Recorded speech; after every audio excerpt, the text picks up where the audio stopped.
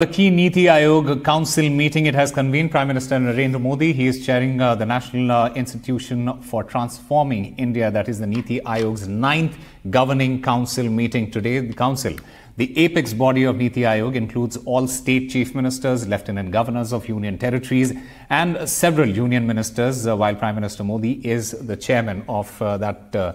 Uh, meet the chief ministers from the BJP ruled states. Uh, they are all attending this particular meeting. Meanwhile, several chief ministers belonging to the op- opposition parties they have boycotted this event.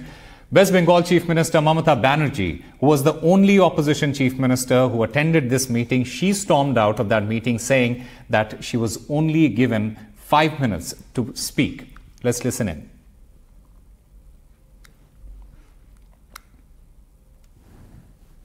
मैं बोलने चाहते थे और उत्तरा दादा, वो मार लेकिन मेरे को बोलने के लिए वो पाँच मिनट में स्टॉप कर दिया जब हमारा से बहुत आगे जो बोला है पाँच पाँच जन उन लोगों ने कोई बीस मिनट बोला कोई पंद्रह मिनट बोला कोई दस मिनट बोला अपोजिशन से मैं एक ही आया लेकिन तब भी मेरे को पाँच मिनट में स्टॉप कर दिया दिस इज इंसल्टेशन நடந்து முடிஞ்ச நாடாளுமன்ற தேர்தல்ல மக்களுக்கு எதிராக நடந்து கொண்ட பாஜகவை பல்வேறு மாநில மக்களும் புறக்கணிச்சாங்க. அப்படி புறக்கணிச்ச மாநிலங்கள்ல அந்த மாநில மக்களை பழிவாங்குற பட்ஜெட்டா தான் ஒன்றிய நிதியமைச்சர் தாக்கல் செஞ்சிருக்க பட்ஜெட் அமைஞ்சிருக்கு.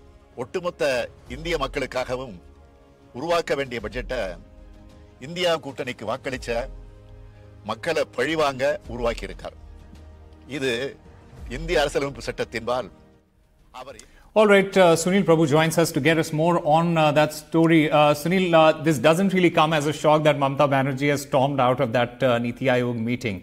Uh, more than anything, this was about making a statement as the West Bengal Chief Minister to highlight her state and the opposition states who, are, who are not really being prioritized, is what the, the West Bengal Chief Minister has said. That's right. As you rightly pointed out, uh, it is expected that Mamata Banerjee would be protesting. Uh, she marked a protest uh, and uh, uh, she was the only opposition chief minister to be present. Uh, and what we have been told by official sources here was that her time was not curtailed, even though she's alleging that she was only allowed five minutes to speak, which is felt was insulting.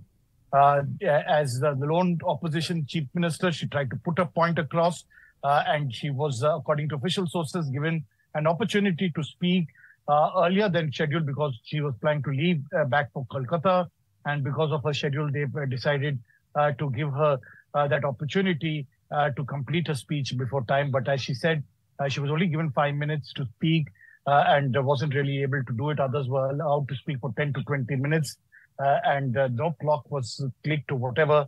Uh, the truth of the matter is, as the lone opposition chief minister present at this Niti Aayog meeting, uh, Mamata Banerjee marked her presence by uh, uh, staging uh, what she says a walkout after uh, uh, you know not being allowed to speak for more than five minutes, and has put a point and her views across, which have created, as we've been talking about, cooperative federalism, which is a cause of concern. There are a host of issues that are being discussed at the Niti Aayog, chaired by the Prime Minister, which have far-reaching consequences for states.